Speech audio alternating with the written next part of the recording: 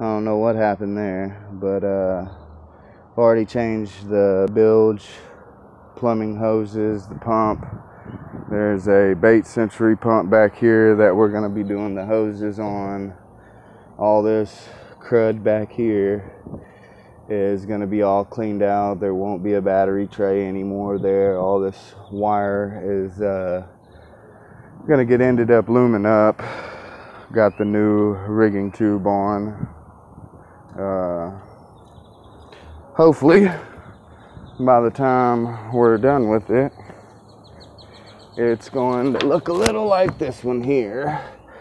As you can see, you know, same amp there same type of power block and this is what I was talking about earlier where all of them come into one side from the rigging tube here comes in and then come out the other side up to the serviceable loop up to this uh, panel here which it'll be the same metal and carbon fiber materials there so hopefully we can get get it done pretty quickly and uh,